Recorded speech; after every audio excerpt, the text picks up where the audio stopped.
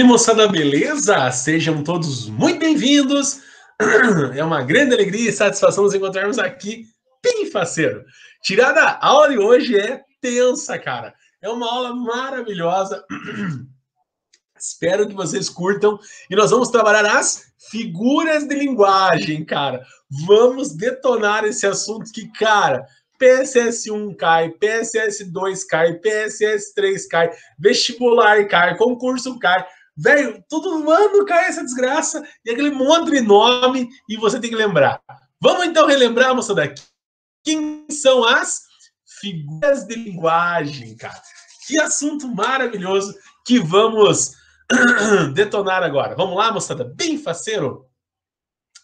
Então, cara, são várias figuras de linguagem, tá? Bastante nós vamos trabalhar aí. E, cara, eu, eu pretendo trabalhar assim com ênfase os que mais caem. Porém, vou mostrar os outros aqui, só para a gente ficar sabendo e ficar a par. Porque se cair, eu falo assim, ó, eu trabalhei, né? Ó, ó, ó, tá? Então, vamos lá, moçada. Figuras de linguagem. Primeiro, cara, o que, que é esse figuras aqui? Ah, professor, figurinha. Vai entrar em figurinha. Figuras de linguagem quer dizer o quê? estilo, maneira de falar. O professor, tem a ver com estilo, então tem a ver com estilo, cara. Em vez de falar assim, ó, um leão fugiu em Castro, eu digo, o rei das selvas está solto na capital nacional do leite. Cara, perceba, eu usei um estilo diferente. Eu posso deixar a frase mais objetiva, mais suave, mais direta. Enfim, eu posso trabalhar a minha a minha frase de uma forma diferente. Ao todo, então essas bandidas aqui. Tá faltando algumas, acredite ainda, tá? Teve algumas que eu não coloquei aqui, porque, ah, velho, por os mais importantes aí, deu 36. Então você calcule, cara. Professor, já vi as 36, cara. Ah, vamos ver as 36. Quantas, quais são as mais importantes? Tranquilo, cara, só umas 30, 33, 32. O resto não cai. ah, tô brincando. Velho, vamos conhecer então as figuras de linguagem. Assunto que despenca em prova e se tem que conhecer. Vamos lá. Tirada, começamos então com a metáfora, tirada. O que, é uma metáfora? Você quer dizer algo e você faz uma comparação. Ó. Seus olhos são luzes brilhantes, minha boca é um túmulo, aquela mulher é uma víbora, você é luz é raio, estrela e luar. Manhã de sol, meu iaiá, meu ioiô. Isso é uma metáfora, beleza? Ah, então metáfora é uma comparação? Sim. Comparação é uma metáfora? Não. Como assim? Velho, metáfora é uma comparação direta. Comparação é uma figura de linguagem que utiliza termo comparativo. Você come como um porco, você age tal qual, o carro dele é rápido, tal como algo, e assim por diante. Gente, reparem que eu sempre vou ter um verbo escondido aqui. É outra figura de linguagem que vamos ver daqui a pouquinho. Mas a diferença de metáfora e comparação é que a comparação ela utiliza o termo comparativo, beleza? Um exemplo clássico que nós temos na propaganda. Lembra dela? Os pedestres são como os banhistas, as motos como os jet os carros são como as lanchas. Velho, vem cá, opa! As motos são como jet skis. Gente, jet skis é marca. Quando eu troco a marca pelo produto, isso também é figura de linguagem? Sim, chamamos isso de metonímia. Marca e volta. Tudo isso é metonímia. O autor pela obra, o inventor pelo invento, o símbolo pelo objeto, parte pelo todo, tudo isso é metonímia. Até tem um macete, ó. O que, é metonímia? Método, ideia mínima. Você fala o mínimo possível e se expressa. Em vez de falar assim, você já leu Memórias Póstumas e as Culpas do Autor Machado e Assis? Não, eu digo o quê? E aí, já leu Machadão? Tô, tô lendo, cara, tranquilo. Por que eu falei só Machadão? Cara, porque eu já sei que eu tô lendo esse livro. Que é esse que vai cair na prova, tá ligado? Então, tipo, cara, Edison domina o mundo. Não é o Edison, é a invenção dele, a lâmpada, Thomas Edison, assim por diante. Então, isso é metonímia. O mais comum, claro, é a marca pelo produto, né, cara? Essa imagem aqui representa bastante, né? Ô, Nescau, Gillette, Gillette, que máquina 3, né? Gente, Nescau, Maisena, Gillette, Uh, gosto do isopor poliestireno expandido, cara. Que loucura, velho. Ó, Danoninho. Ah, Danoninho não é Danoninho. Como é o nome do Danoninho? Queso tipo petit suisse. Esse aqui é espanhol, que eu falei tipo italiano, mas é um queijo tipo petit suisse. Então, na hora que for pedir na lista de compra, não peça Danoninho. Ah, vou pedir chaminho, chamitinho. Chamitinho não. É queijo petit suisse. Se tua mãe trazer um queijo para você em vez do Danoninho, não chore, tá? Sinédoque, gente, é um tipo de metonímia. Às vezes cai na prova como se fosse metonímia. Ele também representa a parte pelo todo. Como assim? Quando eu digo assim, ô, oh, onde é que fica o banheiro? Viu, você tá vendo aquele careca ali? Aquele careca? Ô, oh, aquele orelha ali, ó, fala em Coreia. Gente, vem cá. Quando eu falo assim, ó, o banheiro fica ao lado daquele careca ali. O cara é só uma careca? Não, gente. Mas por que eu chamei ele de careca? Isso é parte para um todo. Né? Ô, nariz, vem cá. Ô, orelha, vem cá. Gente, não gostei disso aqui. Isso aqui me representa. Beleza? Então, isso é sinédo que parte pelo todo. Vamos lá. O MPG 2015. Olha como cai no vestibular essa praga. Vamos lá. Gente, tinha um texto, que eu não copiei o texto, obviamente, e nesse texto dizia que o sonho da criança era ter uma calói. Cara, o que é calói? É marca de bicicleta. Mas quando eu digo que eu sempre quis ter uma calói, eu digo que eu quero ter uma bicicleta. Isso é marca pelo produto, isso é metonímia. Onde mais eu tenho metonímia? Gosto de ler Machado de Assis, autor pela obra. Comprei uma caixa de Gillette, máquina 3. Na estante livros e mais livros, não. Comi um prato de macarrão? Sim. Cara, como assim, professor? Tá louco? Velho, você não come o prato de macarrão. Você come o conteúdo do prato. Então, nossa, bebi três taças e fiquei nervoso. Você não bebe três taças, você bebe o conteúdo da taça que no teu caso é corote, beleza? Ita, ó, cai no Ita, velho. A engenharia brasileira está agindo. Gente, o que é engenharia brasileira? É todo um grupo de técnicos, profissionais e toda a equipe inteira que eu resumi, método ideia mínima, como engenharia brasileira. Catacrese, você lembra, né? É no balanço do busão, no gingado da sanfona, o que atrapalha é o braço da poltrona. Velho, esses são exemplos clássicos de catacrese. Vidrialho, coroa do abacaxi, cabeça de alface. Como é o nome desse negócio que tá escrevendo aí, ó? Ah, folha. Folha não, folha é esse negócio verde aqui da árvore, tá ligado? Folha, cara, não é. Como é o nome disso aqui, então, que você está escrevendo aqui, ó? A Bíblia. Não é Bíblia, é uma básica. É uma agenda. Gente, então, cara, é a catacrese da folha, a catacrese do caderno. Compre na papelaria um poliestireno expandido, isopor, e um caderno com 96 catacreses. O que é catacrese, então? É o quê? Você não é um empréstimo linguístico. Né? Eu não tenho um nome designado para isso aqui, eu chamo de pé da cadeira, pé da, mesa, cabeça de alface, dentro de alho, batata da perna, coroa do abacaxi. E fique esperto com esses caras aqui, ó. Em especial para a palavra quarentena. Que nós estamos na quarentena já há mais de 40, né? Quarentena, por favor, ó. Fica quarentena, estamos desde março, abril, maio, junho, julho. Ah, é, não faz tempo já, até perdi as contas, matemática não é meu forte. Enfim, gente, embarcar no avião, é, ó, péssima caligrafia Cali quer dizer bonita, grafia escrita. Como é que pode uma péssima caligrafia? Que horríveis! Gente, e assim por diante. Então, uh, embarcar no ônibus. Lembre-se, embarcar é entrar no barco, beleza? Como é que você entra no ônibus, então, em busar? Não, empréstimo linguístico, eu digo embarcar mesmo, tá? Ó, enterrar o dedo no alfinete. Enterrar é jogar terra. O que, que é isso? Catacrese, beleza? Vamos lá, vamos lá. Gente, olha esse cheiro, olha esse cheiro. Cara, se tivesse como olhar o cheiro, seria tipo Power Ranger, né, velho? Mas não tem como olhar o cheiro. Isso é sinestesia. Ó, sonora, luz colorida. Velho, Cruz e Souza. Tem como a luz ter som? Ah, o som ter cor? Tinha no tempo do restart, né? Eu vou te esperar aonde quer que eu vá. Te levo comigo. Velho, ó, ah, ele tem uma voz muito áspera. Hã? Um olhar doce, sai açúcar, de certo, né? Ô, você consegue. É, eu não consegui ver teu áudio ontem, ó. Peguei o celular, não consegui ver teu áudio. Cara, você não, vê o áudio, isso é sinestesia, isso é fusão dos sentidos. Ó, ele sentiu o barulho do olhar, velho. Como é que tem um barulho olhar?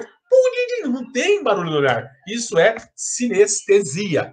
Perífrase, fiz um macetinho para vocês aqui, ó frase particular. Cara, como assim frase particular? Aqui tem alguns exemplos. Em vez de leão, eu pus o rei da selva. Em vez de Rio de Janeiro, cidade maravilhosa. Em vez de Flamengo, eu ponho o melhor do mundo. Velho, e assim por diante. Então, cara, uh, uh, em vez de cão, cachorro, eu ponho o melhor amigo do homem. E assim por diante, ó. Última flor do laço, inculta e bela. Ouro nativo na ganga. Quem que é a última flor do Lácio, velho? A língua portuguesa para o Lavo Bilac, cara. na região do Lácio ali, nós temos o nascimento nas línguas é, românticas, né? As línguas que vieram do latim, quem? O português, espanhol, francês, italiano. E o Olavo Bilac chamou a língua portuguesa de última flor do Lácio. E aí, aquela tua professora que estava aqui e tem um blog, ela coloca assim: acesse meu blog, ultimaflordolácio.com. E daí você fica, que, que viagem do Última Flor do Lácio? Velho, quer dizer língua portuguesa, beleza? Antonomásia é um tipo de perífrase, só que é para pessoas, cara. Eu coloquei alguns exemplos aqui, ó, volta, Jesus. Ó, príncipe dos poetas, o poeta dos escravos, o rei do futebol. É o Pelé? Não. Tô brincando. É o Pelé, sim. Então, gente, esses são exemplos de antonomásia. O que é perífrase? Frase particular para cidades, objetos, animais, assim por diante. Para pessoas, eu chamo de antonomásia. Jesus é o caminho, a verdade e a vida. O princípio, o início, o fim e o meio. Esse é Raul Seixas. Enfim, terceira idade. Cuidado, já é no vestibular isso aqui, hein? Terceira idade é o quê? Frase particular para pessoas idosas é sim uma figura de linguagem. Cara, fechamos a primeira lista já. Vamos para a segunda, vai. Figuras de som, cara. Começamos com a onomatopeia. Você sabe.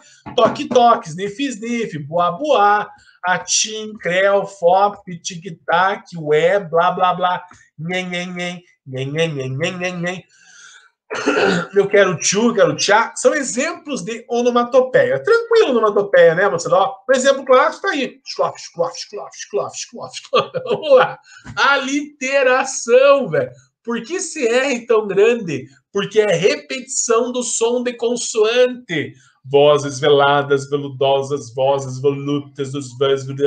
Bem, clássica, note, bota um asteriscozão nela porque cai bastante aliteração, repetição do som de consoante, ó. Chegamos uma terra feia, fria, fétida e fútil. Né? Quero explorar o EPG, o diabo danado deitado de tanto de abrura. O que, que, é isso? De, de, de, de, Repetição de consoante. Comum na música, cara. Hã? Rala, ralando, tchan, relo, tchan, amarro, tchan, segundo, tchan, tchugu, tchugu, tchan.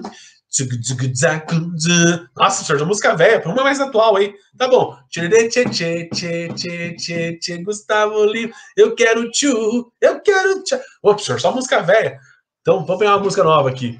Faz bom, bom. Pronto. Questão do RPG, vai. Marque onde tá certo. O diabo é mal, perverso. Opa. Ó, você vai lá fazer a prova, não o diabo, tá louco? O diabo é mal, isso é uma antítese. Não vimos antítese, mas antítese é palavras contrárias, nada a ver. O diabo passeia e pisoteia. Velho, a síndeto não vimos ainda, mas a síndeto é sem conjunção, e aqui eu tenho conjunção. Então, não pode ser dois. A maldade do diabo inundou o mundo. Velho, perífrase é frase particular, não tem frase particular alguma aí. Obviamente que as outras duas estão corretas, porque somatória tem que ter no mínimo mais de uma, né? Para você somar. O diabo é um animal peçonhento, metáfora já vimos, e diabo danada e tarde, tanto diabrura, a literação, beleza? Banda Mel, lembra? Como é que é a música da Banda Mel lá? Aê, aê, aê, aê, e, e, e, e, oh, oh, oh. Velho, isso é assonância, repetição do som de consoante, assonância, repetição do som de consoante, beleza, moçada? Tranquilo? Também está presente na música, né? Vamos pegar uma música clássica aqui.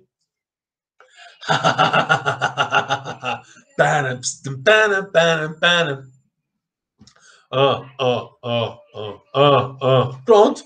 E mais uma clássica, essa aqui que tem assonância e literação.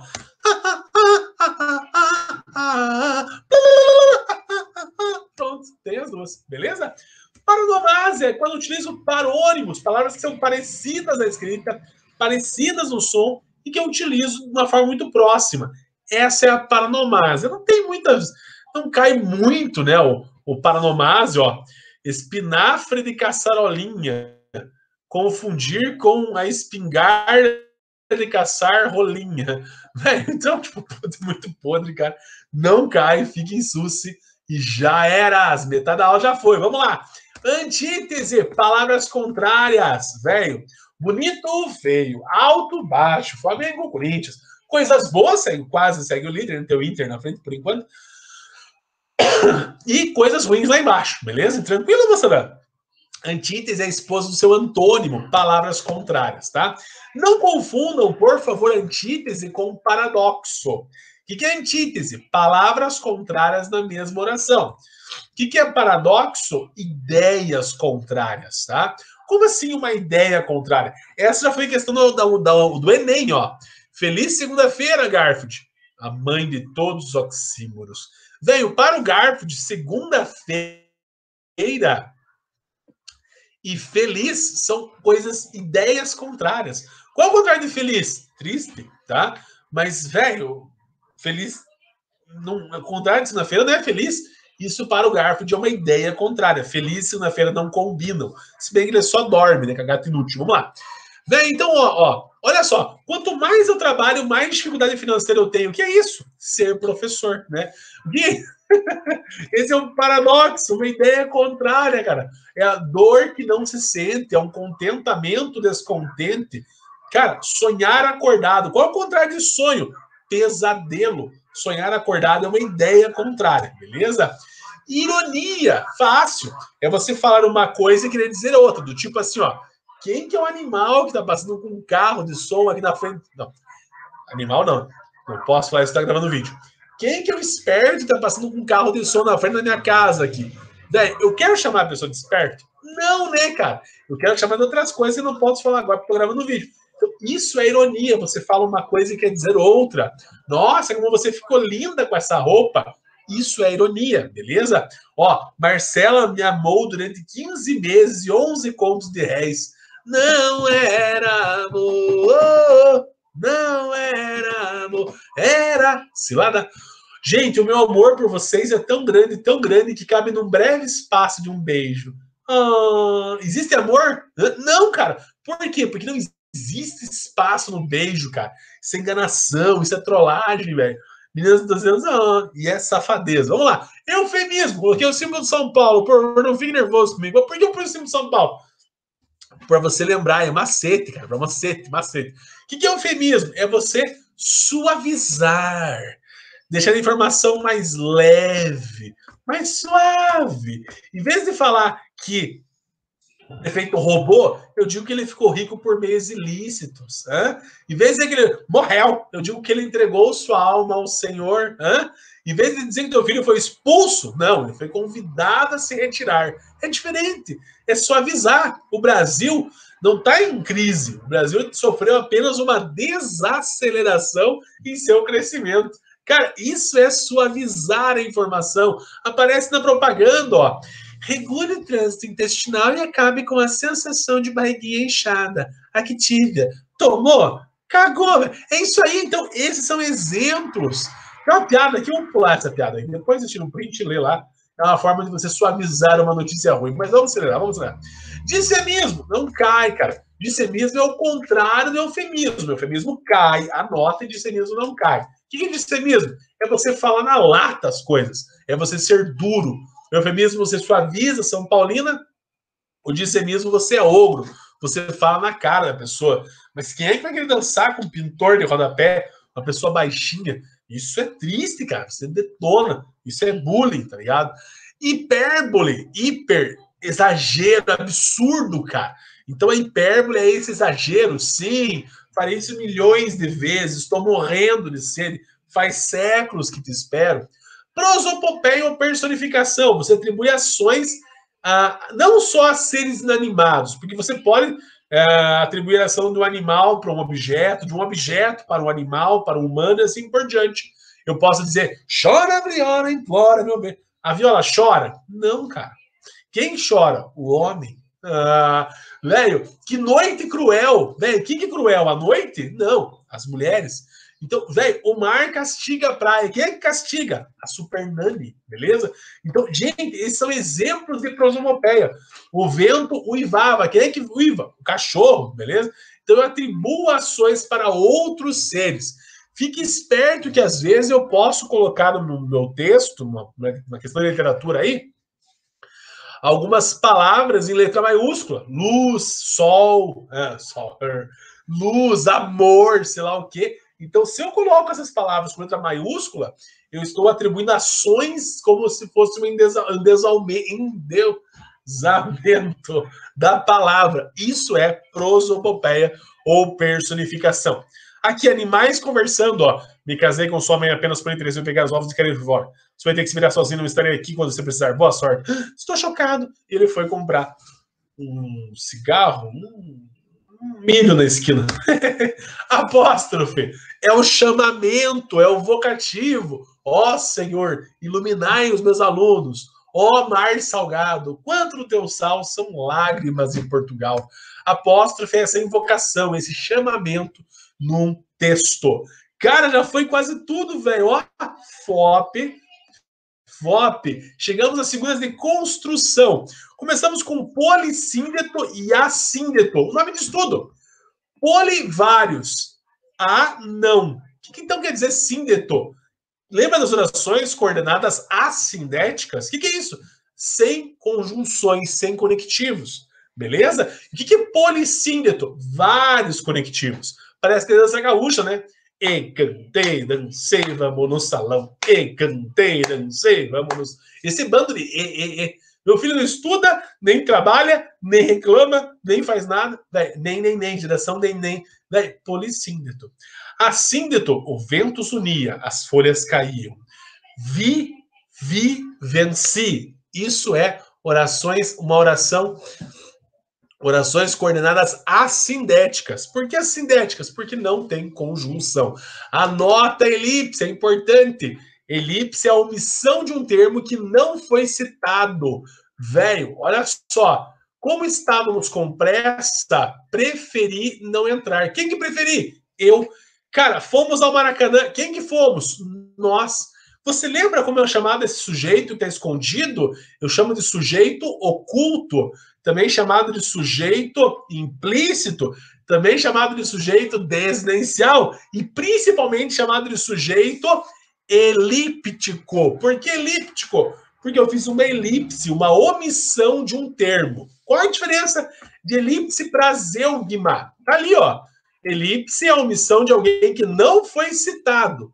Zeugma é a omissão de alguém que já foi citado.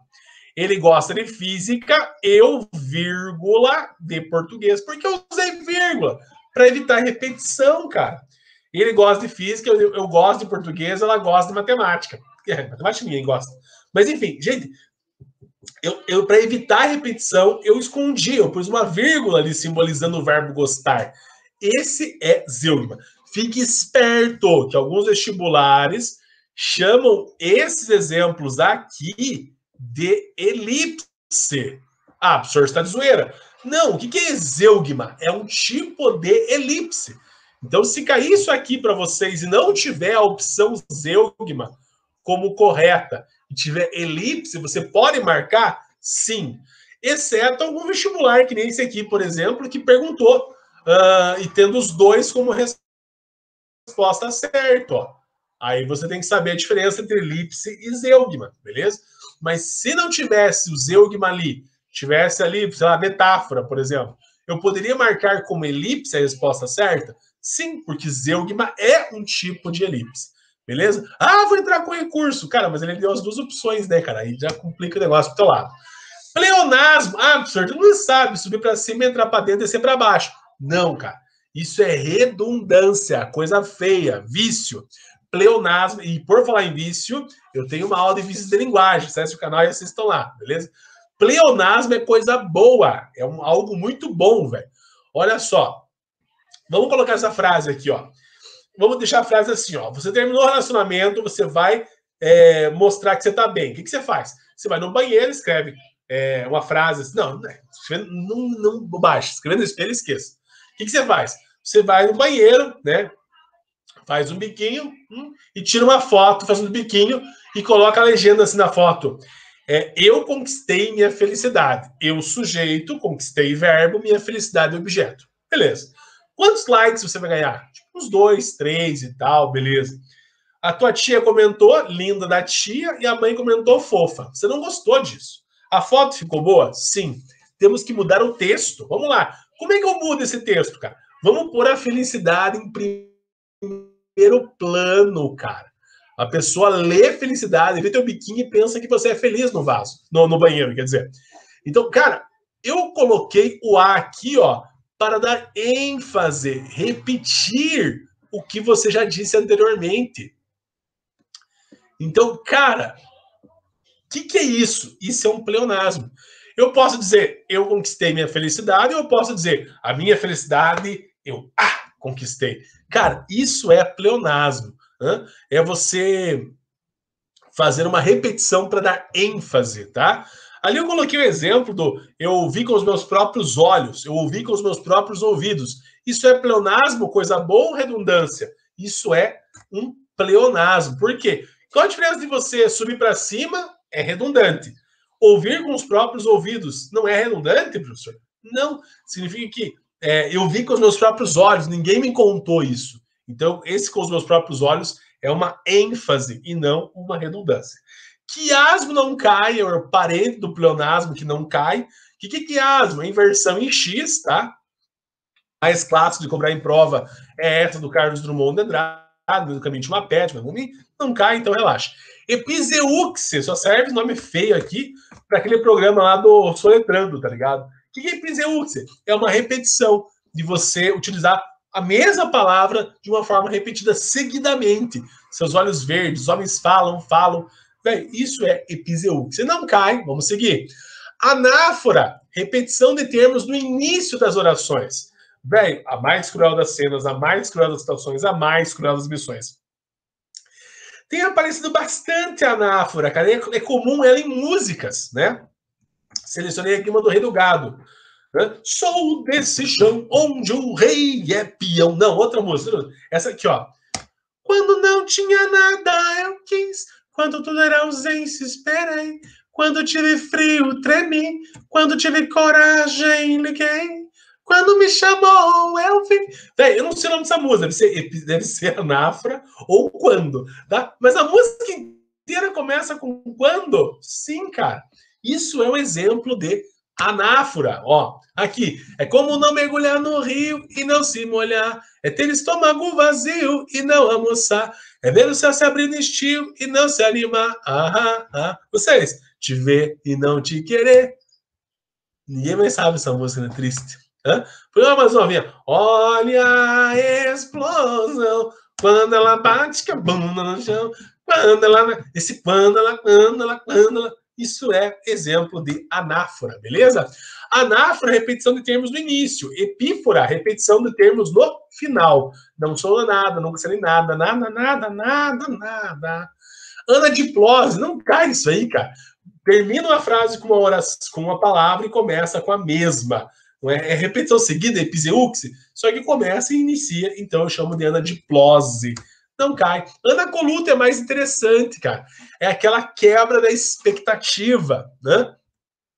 Você começa a falar uma coisa, por que luto, professor? Por que a Ana tá com luto? Porque a Ana começa a falar de uma coisa e de repente ela fala de outra, tá ligado? Tem, mas normalmente professores de filosofia são assim.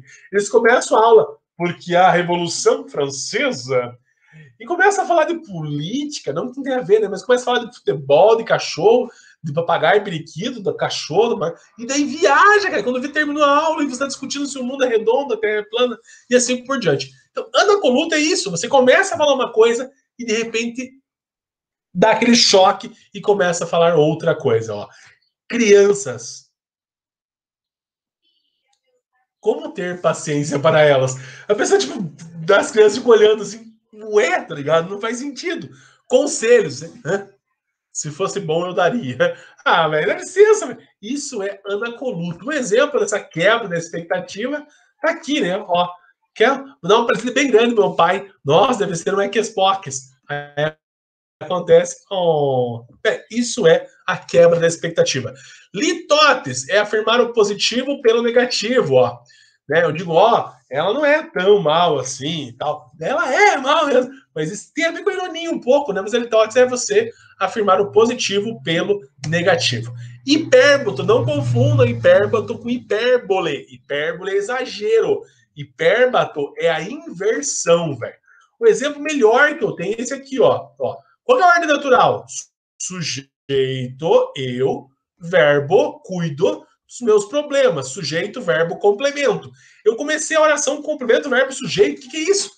Uma hipérbato, inversão da ordem natural.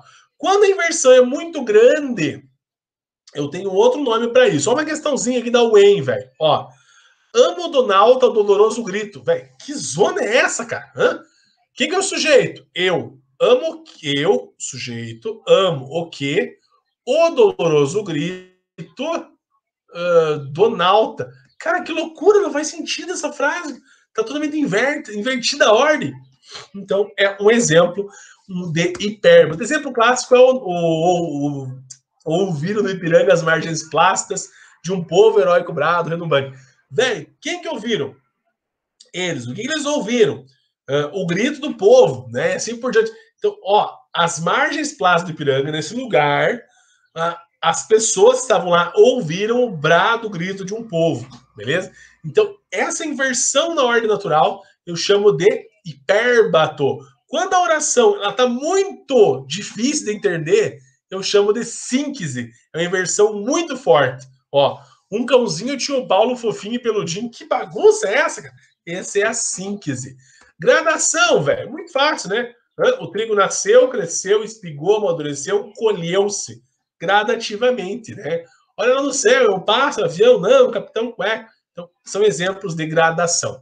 E o último de hoje, prometo, silepse, anota asteriscozão, cara. Esse é um dos mais queridinhos em vestibulares e concursos. Por favor. Silepse é uma concordância ideológica. Eu tenho três tipos de silepse. Silepse de pessoa. Ó, dizem que os cariocas somos. Cara, que zona é essa, professor da louco? Gente, quem que somos? Nozes. Cariocas não é nós, são eles. Como seria essa, essa, a concordância gramatical correta aqui? Dizem que os cariocas são porcos, né? São poucos dados de públicos. Mas quem foi o retardado que disse isso? Ô, oh, tá louco, velho? Machado Assis, cara. Machado Assis também era carioca e também era porquinho. Então ele se colocou dentro da coração. Pode fazer isso, Arnaldo? Cara, até pode. Mas é uma concordância não gramatical, ideológica. Né? Silepse de gênero. A bonita é um gênero feminino, beleza? Porto é uma palavra do gênero masculino. Tem concordância aqui, cara? A bonita Porto Velho? Sem chance. O bonito Porto Velho, então a bonita cidade, aí estaria correto, tá? E se lembra, número, o casal resolveram. Cara, casal é singular, resolver é plural. Pode isso, né? Concordância ideológica. Questãozinha, vai lá.